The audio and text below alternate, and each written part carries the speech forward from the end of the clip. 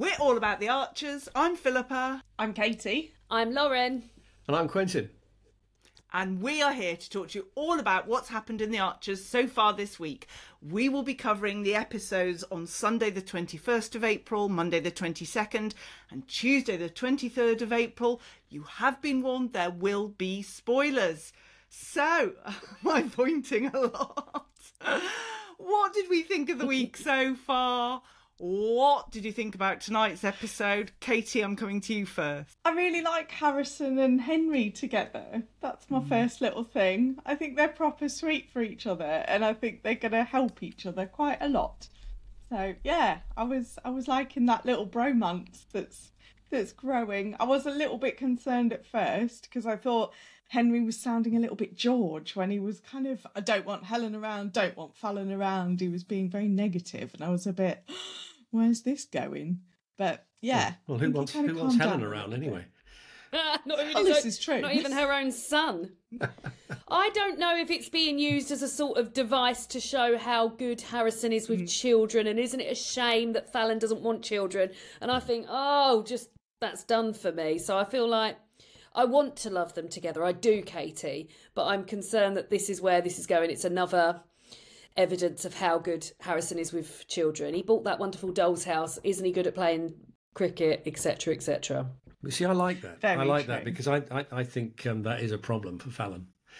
However she dresses Oh. it up, I think deep down she knows Harrison wants children, and he's clearly would be a great dad. Be lovely. He's lovely. He was absolutely lovely with Henry. I thought those were lovely scenes. So um, uh, I, I, I mean, I, I know some people say, uh, you know, you shouldn't. Every couple in Ambridge shouldn't be forced to have kids. That they shouldn't. But equally, as a character, Harrison is pretending he doesn't. He's happy. Is he's happy with not having kids? I don't think he is. But off they- topic, but I was Sorry. having a think today about how many sets of twins there are in the Archers, which is Yeah, well, yes.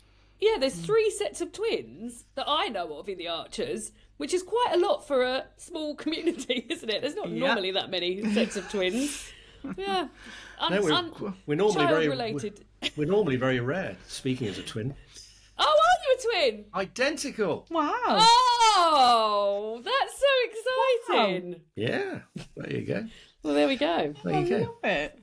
I just Little- think to do a little spot the tidbit for us. Yes, going back to that sort of Harrison and children storyline though, it it will annoy me if that happens because they have had the discussions and it would just be nice if they could show that yes, uh, you know, that Yeah. maybe Harrison is quite paternal and and he's got some skills with kids but that doesn't mean he has to have children. I just it would be refreshing to see that and we've had a lot of H's as well with Harrison, Henry, Helen, and Harry. I was like, who else is going to come along whose name begins with H? It's H week, I thought. But, I mean, going back to your point, Philip, that's H that- from that- step. that- that's a problem, Philippa, because you can't. Harrison can't pretend he doesn't want to be a father. I mean, I think actually it's it's a, it's, it's a good source of drama because I think that's it's going to keep bubbling up. I do. So I think as as a dramatic element of the Archers, it's going to be fairly constant because I don't think he, he I I think he's he's for the sake of Fallon, he's saying, okay, I, I don't want kids, but deep down, he Yeah, does. I thought that was what had been decided that he was Hmm. so in love with Fallon that he would forego his want of children Hmm. in or- like to stay with Fallon. So in my head, if that, if I was Fallon, I'd be like, right, well that's sorted then. I'm really fit. but- He'd rather have me than But, kids. sh- but she's not Yeah, deep down. done. She's not comfortable with it. She she, she knows it's not settled. No, Hmm. it's not. But yeah, Yeah, But rather it would be serious, nice if they could use. Ah! I know. It'd be nice if they could build this whole thing though with Henry and Harrison just helping each other. Oh, so yeah, it's lovely. Harrison kind of has Yeah. a little kid that he can play with, play with, and uh, work together on the cricket I- and be yeah. together. And then Henry Yeah. has a great little role model. Which I, I be thought there were two nice. great scenes tonight. I thought Henry and Harrison were lovely, and I also thought the scene between Alistair and Ed was fantastic. That was really well, that was really well played. It's just how I, a, a guy will wind up another guy, yeah. and he's you know he's really touched a nerve there, and um, no, it's nicely played. And of course, spilling the beans in front of Denise. I mean, whoa! I think it's quite a pivotal episode tonight in terms of future storyline development. Yeah, yeah. Do you mean double standards, Denise? Yes. Yes. I, I, Yes, I yes, didn't know. I don't know a bra size, but if you say so, Yeah. yeah. like I just I'm so du- like I I was never that invested in Alistair and Denise in the first place and the will they won't they? Alistair. And the will they won't they? And just hearing her this week just sort of giving the old excuses for oh John doesn't really want to talk about it and this and I think yeah. get, have a smooch with Laura get this over and done with. Yeah, just I mean, they're making Yeah, it can I, out can I like just bring they, in a... they Sorry. They are making out like they are, you know, they that they've been so in love. But what time have they actually spent together apart from over sleeping Hmm. anaesthetised animals that it turns out loathe Alistair and run from him? I mean, there's not been any actual proper Hmm. time together. So yeah, Alistair is the most boring person in Ambridge, I think. Closely followed, hot on the heels. By Denise, who just yeah, I, I wrote ha ha ha in big letters in my green pen oh, tonight Oh, when Ed was brutal. going on about it. Can I can I just read out this tweet from Angela Dobb, which I think was just spot on. She says, "Denise, listen up. Alistair is not an international man of mystery or playboy of the Western world, but he is kind. He loves animals. He's empathetic, patient, and professional, and he has the hots for you. It doesn't get much better than that. so come on, girl. Yeah. Oh well, But let's, I think, uh, but talking of hot, I mean, Laura's hot. Phew, I'm telling you, sexy. yeah I got a sexy vibe from her I got a sexy Yeah, vibe very. from her Oh yes. I'm very Yeah, yeah. forthright. Yeah. She, you know, Alistair wouldn't stand a chance Oh, with God. her. She'd, uh, yeah, She goes Good route for one, Laura. doesn't it? Woof. good for Laura. Okay, Yeah. faves and flops. What haven't we covered? Katie, what are your faves? What are your flops? I'm loving the fact that Harrison is saying A up more and more. He seems to be getting more northern or Midlander. Well, he's come brilliant. south. We're getting coming more south. A ups. Oh, A-ups, it's East wonderful. yeah, exactly. A up up. It's great. Very happy with that. So that was a fave. Um, the flop was the fact that Ed seems to have just realised that tree surgery is dangerous. God, sorry? Like climbing trees with chainsaws, yes. It's, it's not going to be an easy walk in the park, is it? going home and googling your new job plus the word deaths. I mean, you're having second thoughts, aren't you? If you're going home to do that. Absolutely. Yeah, does not work, I'm afraid. Well, one of my faves was probably one of your faves, um, Philippa, and it was hearing Henry say, "Can I just finish my chapter?" Yes, Oh, exactly. He's Loved my star it. of the week for that. Yeah. loved hearing it. Um, I also loved Ed deciding to go for popping the lamb in a plaster cast rather than that was another fave of mine. Uh, instead quid. of uh, Yeah. Yeah, to pop his lamb. he just said, "We've just lost so many lambs. I can't bear to see another one go." I thought, lovely. Ed, I'm starting to fancy Ed. I don't know what's happened. There's a few things he's done this week, and I think, uh oh, you're you're next. um, in terms of flops, I'm fed up with this will they won't they between Alistair and Denise, and also Harry and Alice. Oh, No, I'm I'm very worried for Alice. Uh, She's just I feel like someone's going to get really hurt. Something else that isn't a flop but got me thinking was about whether or not Harry is a lost cause because I remember like Alice saying, "At least you're not in denial. You've recognised there's a problem." And when Alice went to rehab, she was in denial and she absolutely didn't think there was a problem, and she did recover. So that did make me look at it a little bit differently. That maybe he is he isn't a lost cause, but yeah. Mm. Those are my faves and flops. excellent stuff. Thank you, Quentin. What about you? Um, well, I mean, uh, Laura is a fave of mine straight off, but um, I particularly like the continuity announcer off the back of that episode saying, uh, "Well, Alistair's in demand, isn't he?" So that was one of my fave moments.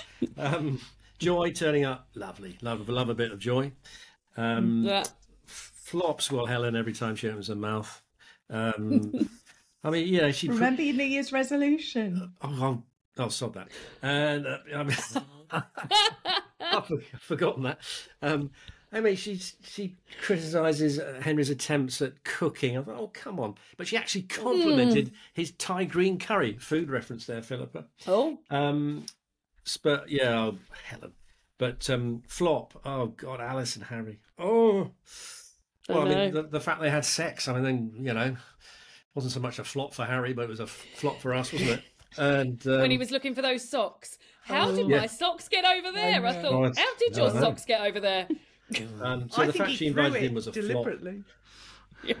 Um, so that was terrible. But I, I thought the, the I've got here. I thought it was a poignant scene between Alice and Harry when she was telling him the trick is not to drink today, one day at a time is all you have to do. And I thought, yeah, there's, it was a very strong scene that. And the next scene, he's picking up his sock. I'm going, oh, for God's sake. So, um, so those are my faves and flops. Philippa, go. Fave. Oh, well, I love the celebration or the chat between Henry and Harrison about the joy of unremarkable days or about unremarkable days. And I thought that was nice to hear. Food, yes. Okay, on my list, I have Sunday roast, sausage rolls, Thai green curry, chickpeas. I love chickpeas. Uh, meat free Mondays, So pizza, and shepherd's pie. I've got something else. What did I miss? Veggie chili. Veggie chili. Oh, oh, oh, every week I miss in the bottom of. Henry's bag for two for two days. Yes. Oh, that's- yes, yes. But speaking of um, yes. uh, shepherd's pie and sausage rolls and Sunday roast m- m- meat-based products, just to throw in that this Saturday there will be the interview with Mr. Abattoir himself, Vince Casey, to listen to and to watch. So yes, What a that's link. recorded. Great link. Seamless, eh? Seamless. Um, so that's another fave of mine this week. That'll be there on Saturday. Flops. Harry, so manipulative, I thought. I love Martha, he said. You are in no position to say that. And he said, I mm, mm. genuinely had no intention of coming in. When someone says the word mm. genuinely, that means they absolutely did. They're just saying that to cover it. He's manipulating Alice so much, and she's so hell bent on fixing him. And I don't think he, uh, you know, I don't think it's going to. He's going to be fixed. I fear very much. And she was clearly heartbroken to begin with. I thought, has he? Has he actually forced himself on her? But I listened back and she said, Well, I kissed you first. But I just thought, Oh, I, I wasn't. It's brilliantly acted, but yeah, didn't like it all. Yeah. And I'm worried that Ed is using £150 from the tree money to have this cast on the on the lamb, and I am concerned about that. Uh, yeah, and Helen just needs to calm down about Henry. Henry's brilliant, and Helen. Oh, he's been isn't. There we go. There we go. Um, I did. I did think of you, Philippa, when um, Henry said, "I'm rubbish at cricket. I'm rubbish at cricket." At one point, I threw the bat at the ball, and I thought if Philippa ever entered a sporting arena, particularly a cricket one, that's how Philippa would play. A fine, magnificent, majestic game of cricket. Yeah. My husband always recounts the squash game I had with him, where I caught the squash ball in my hand and then left. So yes, Y- y- you could be you could be correct. Q, Goodbye. you could be correct. Okay, star of the week. I have told you my star of the week. Henry reading his book, absolutely wonderful. Katie, who's your star of the week and why? I've got Harrison. I just I did hmm. really like Harrison this week. Yeah, that's fair enough. Lauren, what about you? I've gone for Ed for saving the lamb, but also because I'm starting to fancy him. So there we go. That's what my my star of the week has become a vessel for me to fancy people. So sort of like top bod or whatever. Fantastic. Quentin, what about you? Well, I instantly fancied Laura, so I'll go with the same thing. Yeah. Lau- That's just what it's becoming. Laura. But established characters, it would be Harrison. I thought Harrison was, was absolutely lovely this week so far with Henry. Very Yeah. good.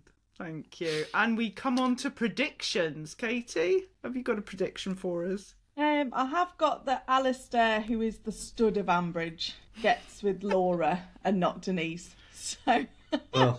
ends up going off with Laura because he gives up with Denise because there are so many mixed messages. And also on the side of that, when she said she'd gone to speak to John and said we need to talk because I've not been happy for a long time, and then she said, I don't know if John realizes that there's a problem. I think he probably does. But He just wants to meet up with his was friend kind of Steve. obvious. Blame Yeah, him. he tried to Go go out, Blame him. but it's fine. He just likes to go along Yeah. bike rides, doesn't This he? is true. Yeah.